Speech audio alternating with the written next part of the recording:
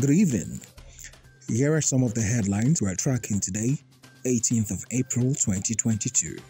This is tomorrow's news today. Chrisland School Scandal. Lagos State government shut down schools. Orders investigations. Warns citizens of sharing video. Insecurity.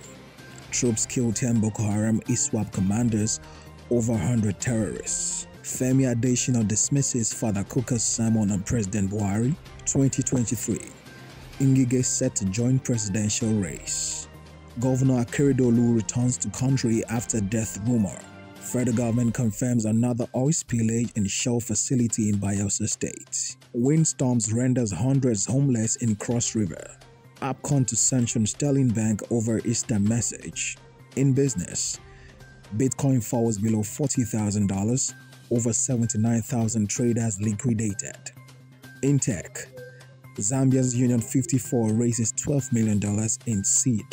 Ex-CEO Jack Dorsey criticizes Twitter board over Elon Musk. On the foreign scene, Russia-Ukraine crisis.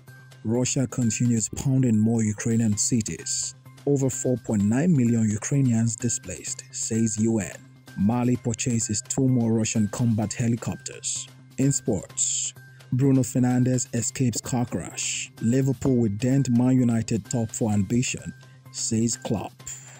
Thank you so much for listening. Make sure you get details of these and many more now and tomorrow on our website guardian.ng. And do ensure to pick up a copy of the Guardian newspaper from newsstands tomorrow. Not to forget, you can also connect with us on Facebook, Instagram, Twitter, as well as YouTube at Guardian Nigeria.